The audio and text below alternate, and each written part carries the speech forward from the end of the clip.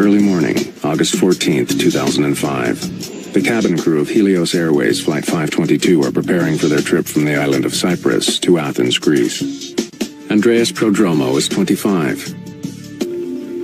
Prodromou is a flight attendant now, but he has bigger plans. One day he wants to fly for Helios. In the cockpit, Captain Hans Merten is an East German, a contract pilot hired by Helios for the busy holiday season. His co-pilot is from Cyprus. Pambos Haralambous has been working exclusively for Helios for the last five years. Before beginning any flight, crews are required to perform dozens of checks on various pieces of onboard equipment. It's a routine but necessary procedure. Doors closed.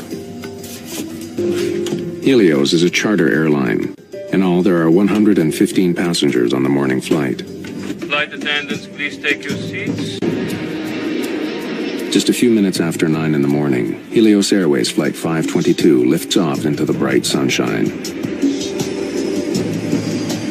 Nicosia Area Control, this is Helios 522. Request cruising at 340. Helios 522, you are cleared to climb to 340. Have a good day. Set 340, 340. Minutes into the flight, the plane is still climbing towards its cruising altitude. Suddenly, an alarm blares in the cockpit.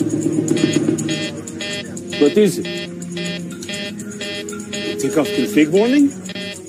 The flight crew is confused. The takeoff configuration alarm normally only sounds on the ground.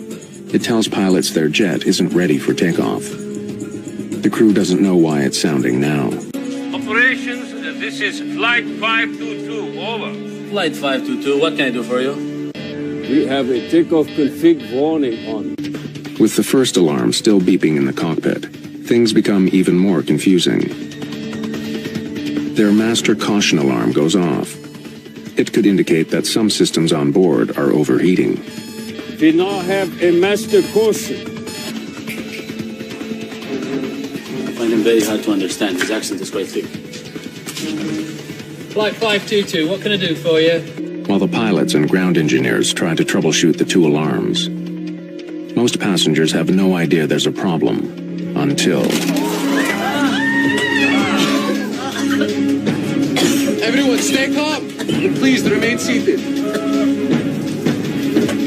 Everyone, please put the oxygen masks on completely over your mouth and nose.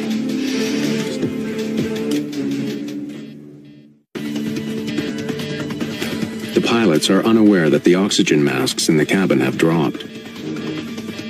And they still don't know why their takeoff configuration warning is on, or why their systems are overheating. Can you confirm that the pressurization panel is set to auto? Where are my equipment cooling circuit breakers? Behind the captain's seat.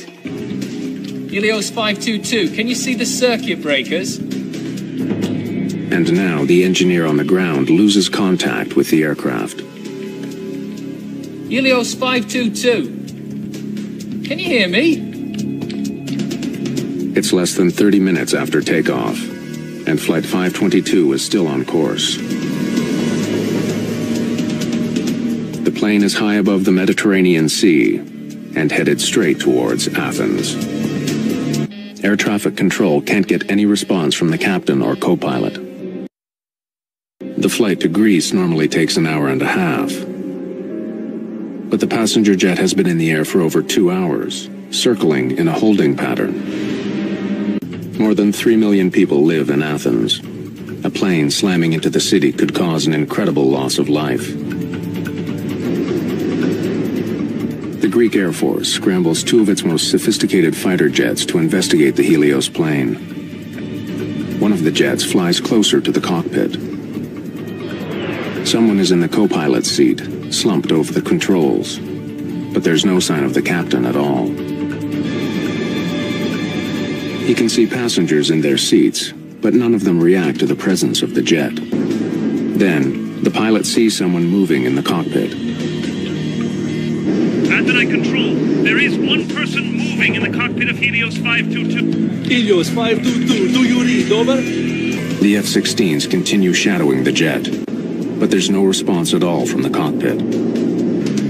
Suddenly, the 737 turns left and begins to quickly descend.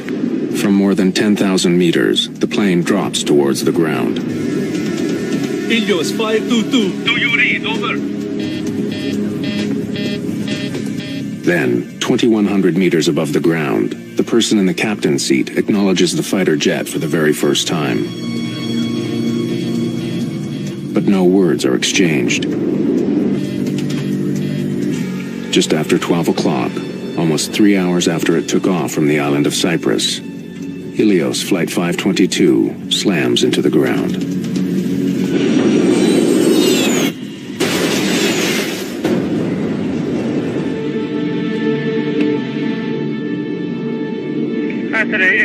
Helios 522 is down.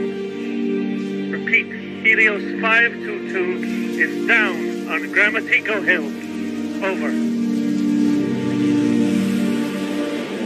Fire and rescue workers rush to the crash site.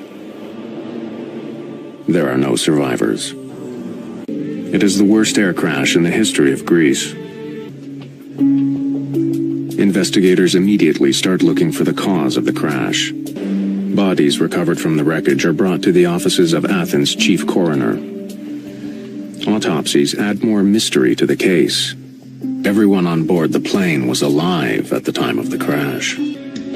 But if the passengers were alive the entire flight, why didn't the pilot of the fighter jet see any activity inside the cabin? And who was at the controls as the jet circled over Athens? The person at the controls of the plane when it crashed was flight attendant Andreas Prodromou. When Chief Investigator Akrivos Solakis listens to the final moments of the flight, Mayday. this was no terrorist act. Flight 522. Hostage. Prodromou was calling for help. Solakis hears five separate maydays on the tape. When he was seen at the controls, Flight 522 had been in the air for almost three hours. And the reason the Helios plane seemed to veer away from the F-16s following it was because its left engine was out of fuel. No matter what caused the alarms to sound, the ultimate reason for the crash was simple. Eventually, the plane ran out of fuel and crashed, killing 121 people. Chief Investigator Akrivos Solakis focuses on a small control panel found in the wreckage of the ravaged jet. The P5 pressurization panel ensures that passengers have enough air to breathe, even at high altitudes. During normal flight, a plane's engines force air into the cabin. To ensure oxygen circulates during the trip, normally, pressurization takes place automatically. But when the pressurization switch is set to manual, both the captain and co-pilot are responsible for maintaining the cabin atmosphere using a controller. Solakis learns that during the early morning maintenance check on Helios 522, ground engineers had turned the P5 switch to manual. When the test was over, they didn't turn the switch back to automatic.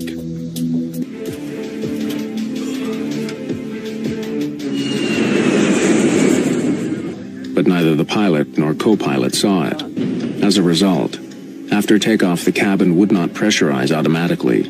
Not turning the switch back to automatic was a deadly, hidden danger. The dwindling oxygen levels could also help explain some of the crew's bizarre behavior.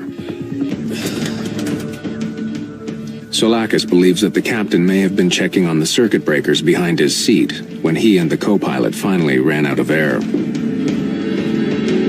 And unlike in the cabin, the oxygen masks in the cockpit do not automatically deploy if the atmosphere begins to thin. Fifteen months after the crash, Greek authorities released the official report on Helios Airways Flight 522. The discovery of one small switch holds the key to the entire crash. Passenger masks are supplied by a chemical generator above their seats but the generators only produce enough oxygen to last about 12 minutes. For those who did put their masks on, they would have remained conscious for several minutes until their oxygen ran out. Then they too would have passed out. Without a flight crew, Helios 522 would have continued to Athens on autopilot. When the crew didn't take control, the autopilot would have then put the jet in a holding pattern as it flew over the airport. But Prodromou was a scuba diver and a former soldier in the Cypriot Special Forces. His training may have helped him to stay alert a little longer. But to survive after the passenger oxygen system stopped working, he needed another solution. The 737 had four portable oxygen bottles. Using them would have given him some freedom. After three hours in the air, everyone who didn't have bottled oxygen would have been unconscious. As it approached Athens, Flight 522 was now a ghost plane. As the F-16s roared to meet the jet, and with his oxygen running out, he must have known that he too was almost out of time. Yet to the very end, he didn't give up.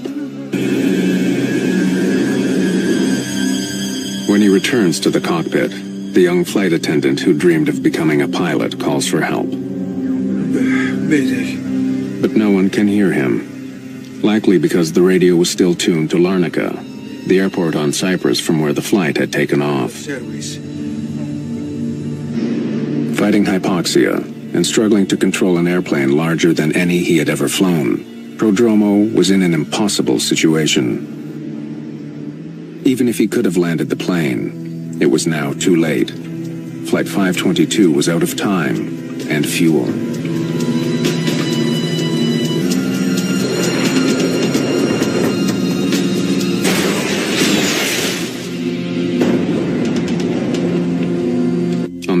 North of Athens where Helios 522 crashed, there are faded photographs of many of those who died.